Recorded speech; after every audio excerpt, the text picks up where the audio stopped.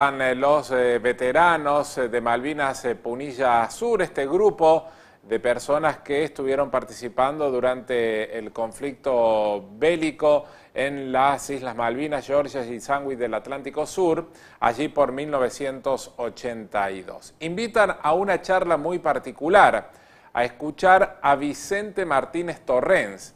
¿Quién es Vicente Martínez Torrens? Bueno, es el sacerdote eh, que estuvo presente en territorio durante el desarrollo de este conflicto bélico con eh, Inglaterra. Es el único eh, del ámbito de la feligresía católica que está con vida y va a estar dando una charla recordando y rememorando aquella etapa tan trágica para la historia cercana y moderna de la Argentina. Hola, buenos días. Ante nada, mi nombre es Sebastián Valdés, veterano de Guerra Malvina y pertenezco al Centro Veterano Punilla Sur de Carlos Paz. Hace muy poquito ustedes habían hecho un encuentro con Nicolás Casanceu, creo que fue en el Mónaco, este, y ahora van a realizar un nuevo encuentro. Sí, gracias a Dios se nos está dando la oportunidad ir con el apoyo de la gente, los municipios y el Hotel Italia, que también nos da un gran apoyo. Estamos trayendo gente histórica que tuvieron Malvinas y ahora viene el padre Torrer, Vicente Torrer, el que nos acompañó durante la guerra en Malvinas. Y viene el general Gómez Centurión, que también estuvo con allá en tema Malvinas. Estuve destinado con el Regimiento de Infantería 25 y también él está, va a estar acá. Y nosotros le queremos invitar a la gente de Carlos Paz para que nos acompañe el jueves 18, 19 horas en el Hotel no, en el espacio África, en la avenida Orgá 57. Por eso le invitamos a toda la gente que nos, acompañe.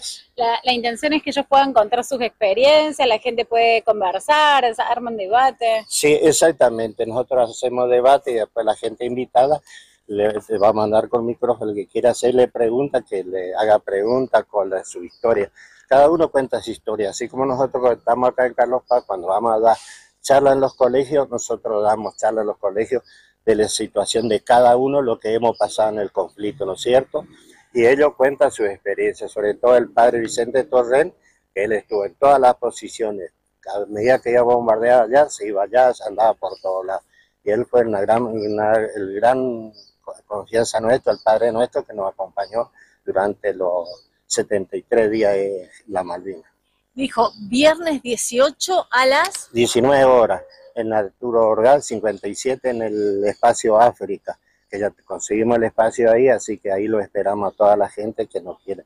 Y ahora ando repartiendo invitaciones, gracias a eso me sirvió el volante para decirle más o menos, yo porque andamos, vino hasta la Gómez Teixeira, ahora voy a llevarle a la señora la presidenta del consejo, a la señora Roldana, así que bueno, andamos por todos lados, como siempre. ¿Y la entrada es libre y gratuita? Sí, señora, exactamente, es libre y gratuita.